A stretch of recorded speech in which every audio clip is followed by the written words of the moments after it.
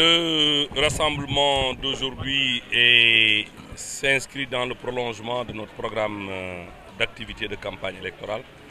Euh, comme vous le savez tous, depuis le début de la campagne, nous sommes euh, constamment sur le terrain, comme l'a recommandé le chef de l'État, le président Macky Sall, le président de Benno Bokyakar.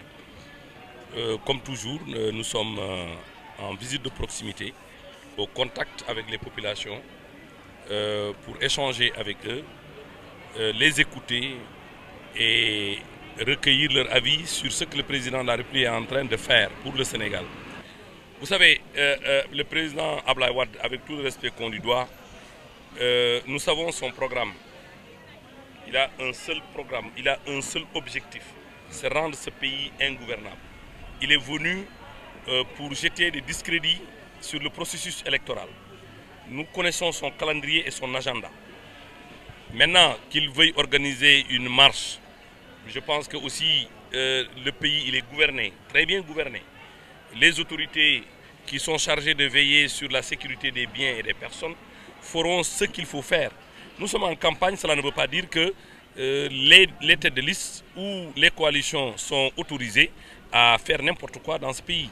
Euh, au moment venu, je pense que nous tous nous constaterons que ce sera un fiasco. Ce sera un fiasco. Ablaïwad ne peut plus mobiliser les Sénégalais. Il ne peut plus les mobiliser. Maintenant, il joue sa dernière carte. Il veut euh, créer un événement euh, à travers lequel il se met au travers de la loi. Et comme citoyen, comme il est un citoyen comme tout le monde, si on l'appréhende, il aura atteint ses objectifs. On dira qu'on a arrêté l'ancien président de la République qui était en campagne électorale nous ne tomberons pas dans son jeu. S'il veut faire, euh, euh, comment dirais-je, organiser euh, son simulacre de mobilisation, nous le laisserons organiser son simulacre de mobilisation. Ceux qui sont chargés de veiller sur la sécurité des personnes et des biens le feront également. Je pense qu'on ne peut pas, comment dirais-je, être inquiété par quelques déclarations que ce soit venant de Ablaïwad, qui on sait déjà son plan, son planning et ses objectifs. Ses objectifs, Ablaïwad ne veut pas qu'on aille aux élections. Il sait très bien qu'en allant aux élections, il va être battu. Donc il n'a pas intérêt à ce qu'on aille aux élections. C'est de bonne guerre. Mais nous allons l'empêcher de faire prospérer ses plans pour que les Sénégalais aillent aux élections dans la tranquillité. Le pouvoir ne peut pas avoir peur d'un vieillard de 99 ans. Il faut qu'on soit quand même sérieux. On est au Sénégal. Ablaïwad, s'il pouvait faire peur, il allait faire peur en 2012. Ablaïwad n'est plus dans une posture de faire peur à qui que ce soit. Il faut que ça soit clair.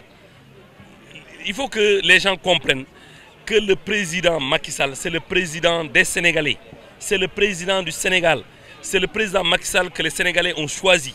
Il faut qu'ils le comprennent une bonne fois pour toutes et qu'ils l'intègrent.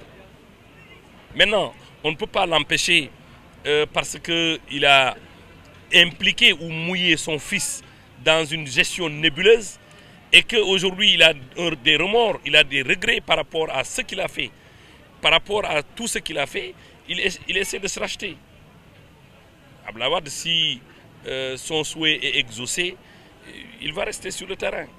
Comme ça, on dira que, voilà, l'ancien président a été, on l'a bousculé personne ne touchera à Ablaïwan. On fera de sorte que personne ne le touche. Nous allons d'ailleurs, s'il n'a pas de sécurité, nous allons lui trouver toute la sécurité qu'il faut pour que personne ne le touche, pour qu'il soit intact jusqu'au 30, pour qu'au moins qu'il puisse vivre en live sa défaite écrasante.